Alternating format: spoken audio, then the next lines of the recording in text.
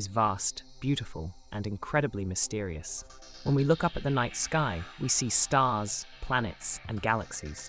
But what if I told you that everything we can see accounts for less than 5% of the universe? The rest is made up of invisible, enigmatic components, dark matter and dark energy. Today, we're focusing on dark matter, the mysterious substance that holds the cosmos together. What is it?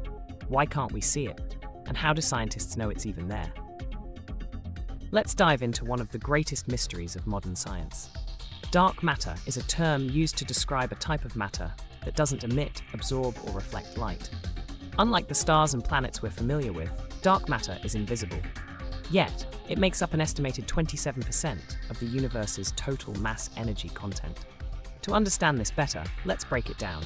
Ordinary matter, the stuff that makes up you, me, and everything we see, accounts for just 4.9% of the universe.